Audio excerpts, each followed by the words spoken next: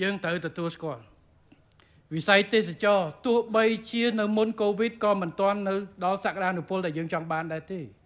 យើងតំបានជាង7លាននាក់ទិសដៅយើងចង់បានមិន10លាននាក់យើងបន្តតែដោយអកុសលកូវីដឥឡូវយើងគ្រាន់តែថយក្រោយយើងចាប់ផ្ដើមដើរទៅមុខវិញយើងត្រូវដាក់ទិសដៅបន្តអញ្ចឹងវាមាន ជាក់ស្ដែងវាមាន high មាន low មានស្អីស្អីអញ្ចឹងយើងត្រូវធ្វើម៉េចមើលខ្លួនយើងសិន តើយើងត្រូវធ្វើអីទៀតដើម្បីពង្រឹងទាញយកផលទាំងអស់ទៅដូចខ្ញុំនិយាយរឿងទឹកចឹងណាយើងមិនអាចទៅបខំមេឃឲ្យភ្លៀងរដូវប្រាំងទេតែយើងអាចធ្វើអាងទឹកឥឡូវយើងធ្វើអាងទឹកធំប្រមាណនោះខ្ញុំទៅចុះទៅមើលទៅតាមខេត្តដែលដាក់បានរាប់លានគីបសម្រាប់ស្តុកឲ្យយើងធ្វើប្រព័ន្ធបន្លាយពេលខែរដូវប្រាំង ទេសចរដូចគ្នាយើងត្រូវគិត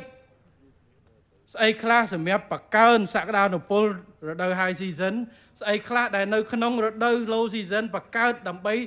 បើមិនបានទោះជាខ្ពស់ក៏ដោយក៏ត្រូវមានសកម្មភាពចំនួនដើម្បីចិញ្ចឹមចលនាតើការដាក់ចេញការរគ្រោះខាងវិស័យឯកជន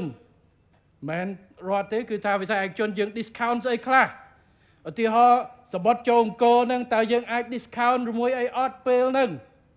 បាទដើម្បីឲ្យតាក់ទាញដាក់ចូល package តែម្ដងបាទខែហាយយើងហាយចុះ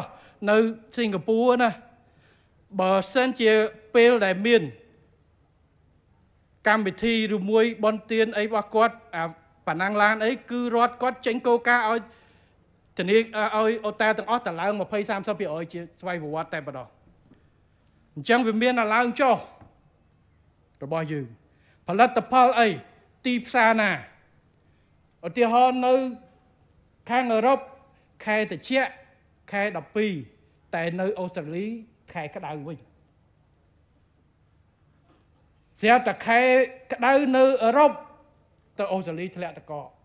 អញ្ចឹងយើងអាចភ្ជាប់យ៉ាងម៉េចបានឬទេ នេះគឺជាសំណួរដែលយើងត្រូវសួរមិនមែនសំណួរថាអេអ្នកនេះថាចេះអ្នកនោះថាចោះឲ្យគេថាថាទៅ សំខាន់យើងបដោតថាតើការពិតវាយ៉ាងណា ដាក់ចេញវិធានការដើម្បីដោះស្រាយអាហ្នឹងទៅថ្ងៃមុខកុំឲ្យគេថាទៀតនេះជាបញ្ហាដែលយើងត្រូវដោះជាវិញ្ញាសា